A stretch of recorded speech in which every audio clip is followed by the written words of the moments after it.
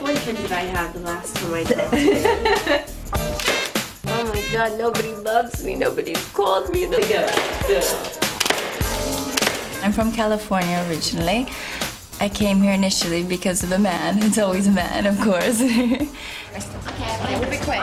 Oh, In a few years' time, I think I can probably see myself married with children, probably based in London or somewhere with a house in the country, maybe a house in Europe in either Spain or South France, but I wouldn't be working.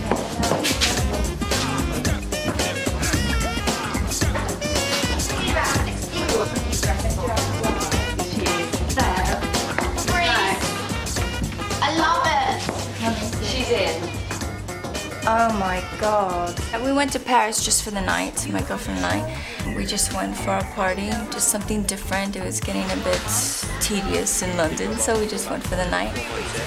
One, I like to play with my money.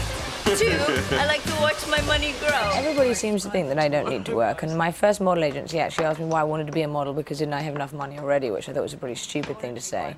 If I wanted to be just a housewife and have four kids and live in a you know house in the country and have a Range Rover and a couple of Labradors and drive into town every week, no, I probably wouldn't have to have a job. I think that's better, don't you?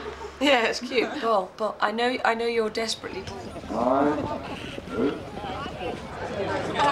Polo scene. It's a very nouveau scene. It's not old English. It costs you a fortune to have a team.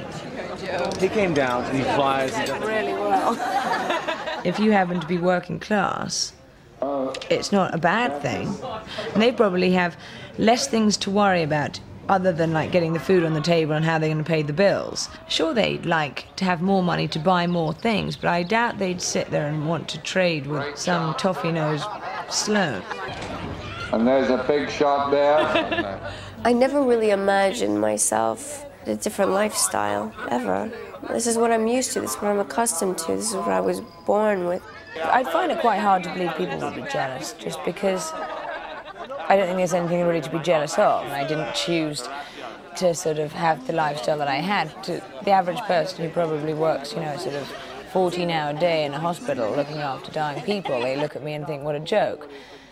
But that's just sort of the luck of the draw. Go blow another hundred dollars. You might as well do it at